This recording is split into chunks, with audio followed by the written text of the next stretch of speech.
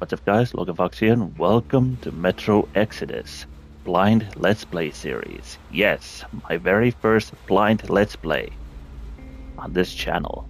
Well, well, it's a first time ever doing a blind Let's Play. I have not looked up to this game any information. I have only seen the initial trailer from from 2018 and and I do know that this game was released at 2019 uh, to the PlayStation 4 and other platforms like Xbox and PC.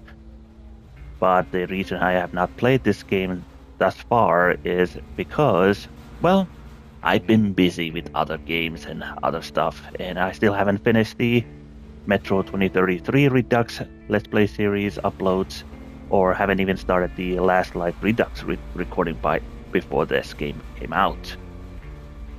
But now it's here. It's time for me to start to play this game and experience it.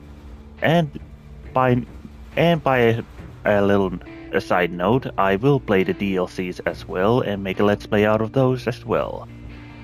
And hopefully you will be joining me to experience all of the Metro Exodus has to uh, provide, uh, not provide, uh, uh show me. Uh, but most importantly, um, I will be playing this game in the in its true setting, which is the Ranger Hardcore mode. No heads-up display, highest highest amount of damage from both enemies and from me, low resources, and, well, hmm, maximum danger. Much like in my previous Let's Plays on my, the Metro series. And what else I should also notify? Note on the here. Mm, yeah.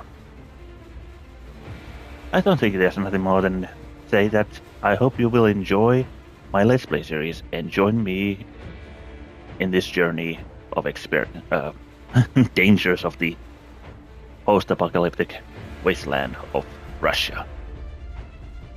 So, without any further ado, hmm, please enjoy Logan Fox on standby.